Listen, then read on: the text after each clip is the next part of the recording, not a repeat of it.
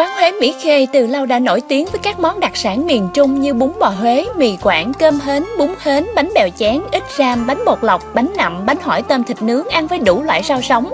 Ngoài ra còn có nem lụi Huế, chè khoai tím, bánh canh giò heo, bánh khoái, cơm gà, xôi gà Đà Nẵng.